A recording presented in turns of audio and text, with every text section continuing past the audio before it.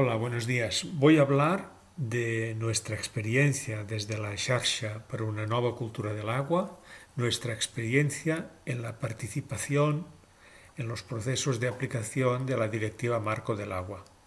Primero expondré la, nuestra participación en tres casos, en tres cuencas, y unas posibles conclusiones que nosotros hemos sacado.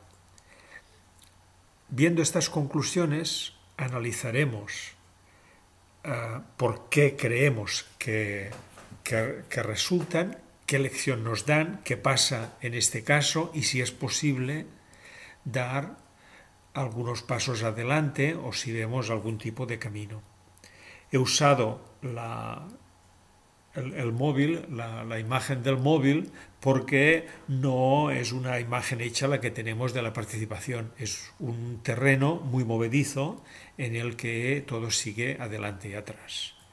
Bien, la primera participación, la primera participación que vamos a analizar es la de Martorell Viu. Martorell Viu, que ahora precisamente ha cumplido 10 años Aquí veis los dos logos, el logo mm, que hizo hace 10 años, que levantaba una mano pidiendo ayuda, y a los 10 años ya levanta las dos. Bien, pues Martorell View está situada en, es una agrupación, una plataforma situada en la cuenca del río Anoia y intenta que no se construyan viviendas en una zona claramente inundable. En este caso, como en los demás, marcaremos, hemos hecho dos tipos de, de marca. Una, esta redonda uh, negra incluida dentro, que ahora veremos con más detalle, son mentiras que hace la administración. Pero la administración también usa otra cosa, que es echar pelotas fuera, que la veremos en esta pelota azul, una pelota fuera, que lanza la administración. Bien, en esta lucha que mantiene Martorell Viu, aquí vemos que ¿qué mentira ha hecho la, administración? Pues bien, el, grueso estudio de inundabilidad que, tenía pues 80 o 90 páginas, en medio hay una parte técnica en la que uh, hay cuatro páginas en blanco, selladas, firmadas, aquí, y esta es precisamente una fotocopia, una foto de la, imagen en blanco. ¿eh? Hay cuatro páginas en blanco, o sea, hay una mentira flagrante. Pero además, ¿qué pasó? Que durante el proceso participativo, en todas las reuniones que se hacían, siempre el, el, espacio fluvial cambiaba. Ahora el río pasaba por aquí, ahora la zona de inundación de 5 años era por aquí, ahora la de 50 era por allí, iba cambiando permanentemente. Vamos a ver otro caso.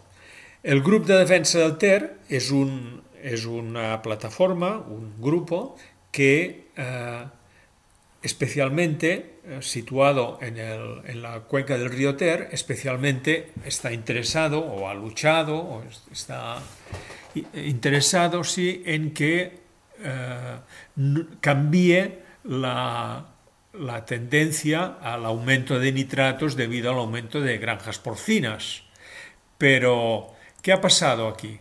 Pues, ¿qué mentira ha hecho la, administración? Pues bien, dice la administración durante el proceso participativo, participativo dijo la, la contaminación disminuye, pero no tengo instrumentos para medirlo. Y paralelamente uh, hizo un decreto que permitió que, aunque haya más contaminación, esto no limite la creación de nuevas granjas.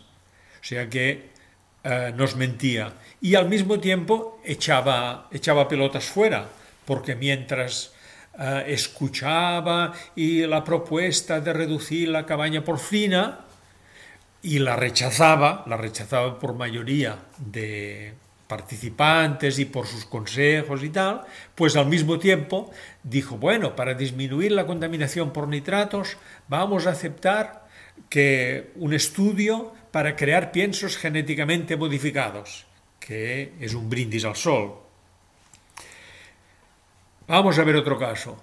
Prousal. Prousal es una plataforma que Prousal significa pasta de sal y intenta que frente de las minas de potasa que desde más de 100 años eh, echan sus residuos al lado del Llobregat sin ninguna protección, eh, intenta que se aplique el principio de quien contamina paga. Pero, ¿qué mentira hay en esto? Pues que mientras, mientras se, se realiza el proceso participativo, al mismo tiempo la Generalidad pacta una autorización ambiental y estipula una fianza ridícula uh, a todas luces. Aquí veis en esta foto precisamente los residuos acumulados sin ningún tipo de protección. ¿Qué, qué, qué, pelotas fuera o qué disimulo además hace la administración? Pues que uh, cuando hay la propuesta de uh, abordar la restauración de los residuos de la minería, la administración dice, ah, no son residuos, son recursos. Esto es un recurso porque un día se usará para otra cosa. Entonces, en, en, general, vamos a hacer un pequeño análisis a partir de estos tres casos y otros muchos, porque en realidad la Xarxa para la Nova Cultura del Agua ha participado en 200 reuniones entre el 2006 y el 2008, en 16 espacios diferentes de participación que han abarcado mmm, aproximadamente una, unas 20 cuencas fluviales. Entonces, en este proceso participativo sí que le han dado respuestas, sí, pero le han dicho, uy, esta no se puede hacer, demasiado cara. Esta no se puede hacer porque no tenemos competencias. Aquí solo está la Dirección General de Medio Ambiente y no otros departamentos de la misma administración. Y al mismo tiempo, uh, aparte del proceso participativo, la Generalitat ha tenido negociaciones en paralelo con los actores de la contaminación, etc. ¿Qué vamos uh, a ver?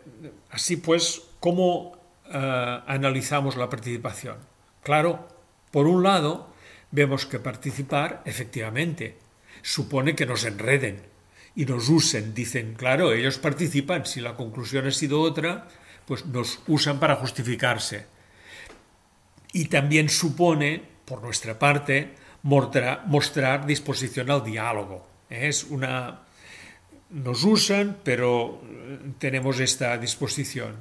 Pero si no participáramos, no sabríamos qué se cuece realmente. Uh, no sabríamos qué, cuáles son los planes futuros, hacia dónde piensa la administración o las empresas. En este sentido, nos conviene participar. Y además, hay una cuestión uh, para una eventual demanda judicial posterior, que uh, cuando participamos y dejamos por escrito nuestra, nuestras alegaciones, entonces ya nunca la Administración puede alegar desconocimiento en caso de demanda por prevaricación. Uh, ¿Por qué hay todas estas pegas? ¿Por qué realmente no podemos participar? Esta es nuestra hipótesis, nuestra conclusión hipótesis, ¿eh? que ponemos a, a, vuestra a discusión. ¿Por qué? Si de hecho, de hecho, ¿qué pasa? que si recuperamos la capacidad de intervenir socialmente, si podemos intervenir sobre el espacio, de hecho, estamos limitando el crecimiento capitalista. El crecimiento capitalista se hace a costa de nuestro espacio. Si recuperamos la capacidad, lo limitamos. Por lo tanto, uh, de esto se trata, ¿eh? en nuestra visión. Se trata de repolitizar el espacio. ¿Cómo podemos hacerlo? ¿Qué caminos debemos tomar? Pues aquí ya vamos a explicar pues algunos de los que nosotros eh, hemos tomado o hemos intentado. Primero, eh, cosas que hemos hecho. Pues hemos hecho unas actuaciones directas intentando que resitúen el problema. Voy a exagerar, que nunca nadie pueda hablar del problema que estamos tratando de la misma manera, porque ha habido una acción que lo ha situado en otro contexto. Uh, aquí hay cuatro acciones, pues unos uh, pseudoactores mmm, mostrando el interés de los banqueros en, uh, verter nitratos que polucionen el agua, hay una acción de Prousal yendo a diciendo que cortaría públicamente la cinta de residuos de la minería, una acción en Martorell bañándose en el río, etc. ¿Eh? ¿Qué otra cosa podemos hacer? Usando el aparato judicial, buscar fisuras. ¿Eh? Lo que decíamos antes, por ejemplo, de durante el proceso participativo hacer que consten nuestras alegaciones, las cuales después pueden ser usadas uh, para que no aleguen desconocimiento, pues otra manera de hacerlo. Mm, y claro, uh, siempre existe pues, la posibilidad de construir algún espacio fuera del sistema que cree otra manera de gestionar el entorno, un imaginario colectivo que, que creen que posean sus propias estructuras diferentes y aparte del sistema de gestión. Estas resistencias, en teoría, tendrían que ser un espacio de aprendizaje para que uh, en un día no lejano podamos gestionar de una manera común los bienes que son de todos. Muchas gracias.